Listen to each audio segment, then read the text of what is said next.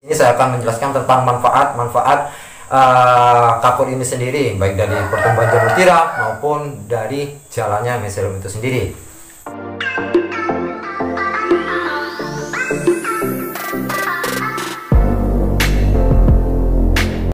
Sahabat jamur, kapur merupakan salah satu campuran bahan media backlog. Kapur ini sendiri uh, berperan sangat penting uh, di dalam dunia jamur tiram sebab apabila tanpa adanya kapur ini maka yang terjadi adalah ketidaknormalan suatu jalannya mesolepung maupun pertumbuhan jamur tiram. Lah pada video kali ini saya akan menjelaskan tentang kapur apa sih yang cocok untuk uh, sebagai campuran media backlog itu sendiri. Namun sebelum saya melanjutkan video ini, bagi Anda yang belum subscribe atau yang baru datang di channel ini, silahkan subscribe terlebih dahulu. Agar Anda tuh tidak ketinggalan informasi-informasi terbaru dalam dunia seputar jamur tiram. Sebenarnya kapur kapur itu ada jenis tiga tiga jenis macam kapur yang sering digunakan oleh para sahabat-sahabat jamur. Yang pertama itu adalah kapur gaping, kemudian yang kedua adalah kapur dolomit dan yang ketiga adalah kapur bangunan. Biasanya kapur bangunan ini yang agak halus itu sudah yang halus itu yang sering digunakan biasanya. Kalau kapur gaping ini harus apa ya di dikum apa dikum itu pada air itu harus diencerkan itu biasanya seperti itulah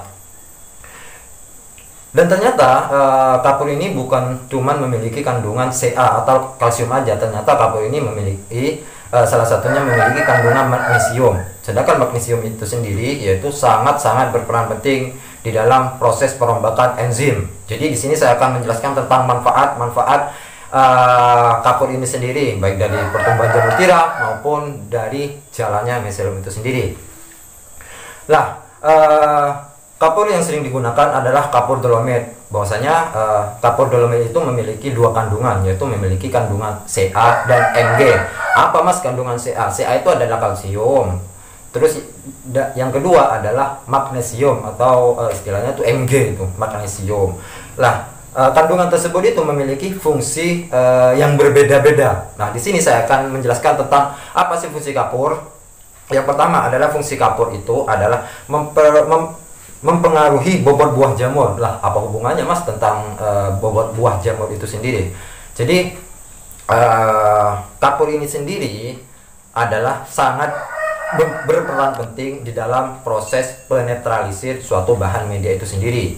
Lah penetralisir suatu bahan media itu sendiri sangat erat berhubungannya dengan uh, gimana terjadi perombakan oleh mikroba itu sendiri. Sehingga apabila bahan tersebut itu di, dirombak oleh suatu mikroba otomatis dia uh, uh, akan mengeluarkan yang namanya unsur hara atau nutrisi. Dan ternyata nutrisi tersebut itu dirombak lagi menjadi nutrisi yang esensial. Jadi itulah uh, kenapa kok kapur ini sangat uh, mempengaruhi dengan bobot jamur ya karena apabila tanpa adanya kapur ini maka uh, suatu media tersebut akan masam. Sehingga apabila media tersebut itu akan masam maka yang terjadi adalah ketidaknormalan suatu proses metabolisme atau suatu proses perombakan pada media tersebut. Bahwasanya ini adalah uh, didukung dengan penelitian yaitu menurut Mariana ini pada tahun 2012 dengan penambahan dolomit yang menggunakan Ca dan Mg yang mengandung Ca dan Mg. Jadi dengan penambahan dolomit yang mengandung Ca dan Mg uh, menyatakan hanya mempengaruhi bobot buah jamur. Jadi dengan penambahan kapur dolomit itu sangat berpengaruh dengan bobot buah jamur itu sendiri. Itu menurut penelitian uh, menurut penelitian Mariana. Jadi itu uh, apa ya? Memang sangat bagus sih, tapi apabila kebanyakan kapur itu juga tidak baik dan uh, kekurangan kapur itu juga tidak baik lah jadi makanya tonton video ini sampai habis, jangan skip-skip biar Anda itu punya uh, gambaran tentang konsentrasi kapur itu sendiri.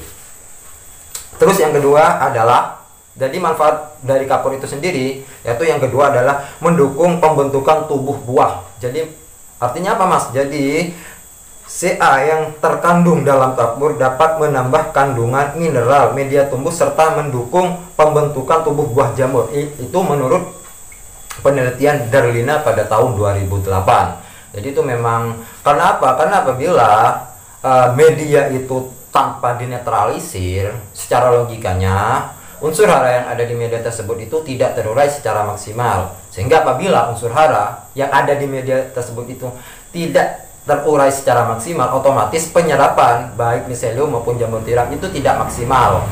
Jadi sehingga mempengaruhi pada bobot buah jamur itu sendiri. Itu yang kedua manfaatnya. Terus yang ketiga adalah mengaktifkan enzim. Jadi uh, di dalam kapur itu sendiri mengandung yang namanya magnesium. Ini biasanya pada kandungan kapur dolomit. Kapal kapur dolomit ini uh, ada kandungan Mg. Ternyata Mg ini menurut Candan dan Males pada tahun 2004 pada tahun 2004 yaitu Mg magnesium sangat penting untuk jamur karena banyak enzim yang diaktifkan jadi uh, enzim ini sebagai biokatalisator. Apa mas biokatalisator? Jadi gini logikanya, enzim ini sangat berperan penting di dalam proses perombakan. Enzim adalah yang mengatur perombakan itu tersebut. Jadi enzim ini sangat ber, sangat memiliki peran penting di dalam proses perombakan. Dan enzim ini yang dapat uh, untuk menstabilkan atau memperkecil molekul-molekul yang tidak bisa diserap oleh jamur sehingga molekul tersebut itu bisa diserap oleh jamur yaitu kerjanya enzim. Jadi enzim ini memang sangat penting sekali baik di dalam proses penyerapan unsur hara maupun di dalam proses perombakan itu sendiri. Jadi memang apabila anda tuh mau menggunakan kapur, ya sebaiknya lah, sebaiknya tuh menggunakan uh, jenis kapur dolomit itu. Apakah menggunakan kapur bangunan atau kampin boleh mas? Sangat boleh, tidak masalah. Kemudian yang keempat, meningkatkan pH dan menetralisir uh, tingkat keasaman suatu media tersebut. Jadi bahwasanya uh, yang diketahui ketika uh, pada pH yang sangat asam, kerjanya bakteri itu tidak maksimal. Jadi atau logikanya kayak gini, apabila pH asam itu uh, ada bakteri tapi tidak ada yang mau dirombak, tidak ada uh, nutrisinya lah kalau pH uh, basah ada nutrisinya tapi tidak ada bakterinya. Jadi ini memang harus menetral lah untuk menetralkan agar bakteri dan uh, unsur hara itu bisa bekerja sama yaitu pada proses uh, pada pH yang netral. pH yang netral biasanya berada di kisaran 6 sampai 7 pH-nya itu. Jadi ini itulah fungsi keempat pada kapur tersebut yaitu menetralisir suatu pH atau potensial hidrogen. Bahasa bahasa kerennya itu mungkin. Terus yang kelima adalah menetralisir senyawa beracun yang ada pada media tersebut. Lah bahwasanya uh, karena kita tidak mengetahui apakah media ini beracun atau tidak. Jadi dengan penambahan kapur uh, racun yang ada di media tersebut itu itu dapat dinetralisir dengan Ca dan Mg itu sendiri. Sehingga apabila uh, kandungan racun itu dinetralisir oleh kandungan tersebut uh, diharapkan tidak mengganggu baik pada proses jalannya miselium ataupun proses pertumbuhan jamur tiram. Biasanya kalau ada racun itu pasti ada gangguan, entah biasanya uh, belang, biasanya tuh bibitnya tuh tidak merambat. Memang itu salah satu, salah satu uh, faktor penyebab terjadinya stagnan pada bibit itu sendiri.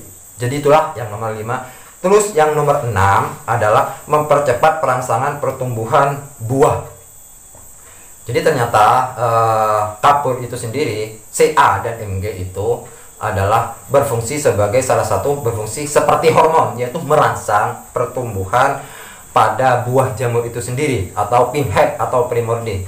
Jadi itu memang apa ya sangat bagus sekali sih kandungan kapur ini. Dan yang terakhir adalah menambah populasi mikroba organisme. Jadi apa mak maksudnya menambah mikro uh, populasi mikroorganisme itu? Ya seperti yang saya jelaskan barusan bahwasanya ketika pH itu netral ketika ketika pH itu netral otomatis mikroba atau mikroorganisme itu hidup secara normal. Jadi antara unsur hara dan mikroba itu saling uh, apa ya saling membutuhkan lah ketika kita itu uh, ketika ketika pH itu netral jadi itulah uh, kemudian untuk konsentrasinya, untuk konsentrasi uh, kapur tersebut itu itu menurut penelitian, menurut penelitian um, ini menurut penelitian memang setiap kapur itu konsentrasinya teman-teman tuh sangat berbeda sekali. Jadi mulai menggunakan satu persen, dua persen, tiga persen dan sampai 4%. Jadi itu sangat berbeda-beda sekali. Nah, ini menurut penelitian, menurut penelitian ini bahwasanya uh, kapur yang sangat bagus untuk kita diaplikasikan per 100 kg serbu kayu itu berada di uh, pada pemberian kapur 1%. jadi ini menurut penelitian uh, jadi per 100 kilo itu 1 kilogram kapur yang kita berikan pada media pada media baklok itu sendiri Kemudian apakah kalau uh, menggunakan kapur 2 atau 3 kilo itu boleh mas? Sangat boleh sekali. Cuman itu biasanya ada dampaknya. Entah itu uh, apa ya? Karena kita tuh kadang tanpa menggunakan alat apa namanya? Alat pH, alat pengukur pH. Oh, pH itu uh, karena kita itu karena kita itu tidak menggunakan alat ukur jadi kita itu e, ngambil pada penelitiannya aja atau ngambil kita pengalaman teman-teman jadi teman-teman itu ada yang menggunakan satu kilo ada yang menggunakan 2 kilo dalam 100 kilogram jadi itulah sahabat sahabat-sahabat jamur yang bisa saya sampaikan semoga ilmu ini bisa bermanfaat untuk sahabat-sahabat jamur dan apabila anda menyukai video ini silahkan like dan share agar video ini bisa bermanfaat untuk orang lain dan bagi anda yang belum subscribe Silakan subscribe terlebih dahulu agar Anda tuh tidak ketinggalan informasi-informasi terbaru dalam dunia seputar jamur tiram. Oh ya, apabila ada yang mau ditanyakan, silakan tulis di kolom komentar di bawah sini. Silakan tulis uh, apa yang mau ditanyakan mulai awal sampai akhir saya menjelaskan ini. Silakan tulis di komentar sini. Sampai jumpa di video saya selanjutnya. Masih dalam dunia seputar jamur tiram. Salam pemuda tani.